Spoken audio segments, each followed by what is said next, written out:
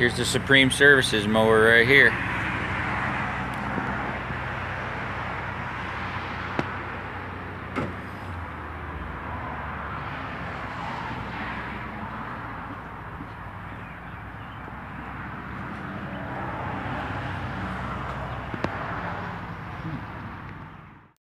Alright guys, take a look at this clip right here.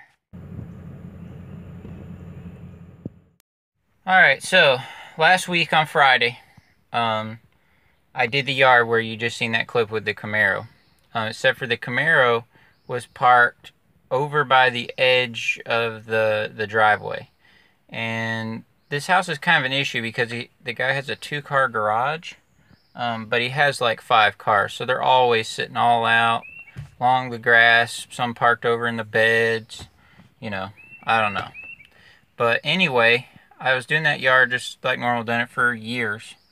And, um, you know, and I'm always real careful because I have busted a window before on a house. One other window um, I sh shattered out um, that I know, uh, you know, that uh, so far in my 12 years. Um, so anyway, so I'm, you know, I make sure the discharge is away from it. I'm cutting it kind of high so we're away from the rocks.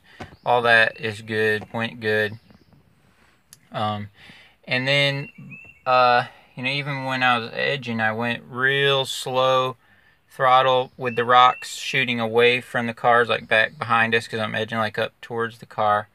And um, just like real low throttle, like almost like you could see the string spin. And I still have my guard on and stuff. Um, but I I heard a little rock fling, and um, and then when I walked up close to the car, uh, close to the to the window, I could see a little bit of dust, and it had just been raining that week and like that day before, so it shouldn't be really dust on the windshield. So I wiped it off with my finger, and um, it did not wipe off. It's a little chip, you know, about maybe this twice the size of an ink pen, almost like a little BB thing. It didn't shatter the window. It wasn't a really hard hit. But anyway, so today, Wednesday, um, that happened Friday, you know, over the weekend. I told them, called a billion people um, finally found someone uh, it's going to come out today, Wednesday, and, and replace that driver window. Uh, it cost me $220, um, which I, th I thought it would be worse than that. I do have insurance, um, but I didn't claim the insurance because, you know, it's real low right now because I don't have any claims, and I didn't really want to claim it really unless it's something real, you know, big or major. So I didn't claim it. Um, so you know, it's just really frustrating. It was really discouraging that day because I was paying very careful attention and it, it still happened, you know. Like, it's one thing, like the last window that I did, you know, a couple years ago, um, you know, that was really my error because I was just going like the wild and um, some rocks fling up from the weed eater that and I was close by the front big glass door.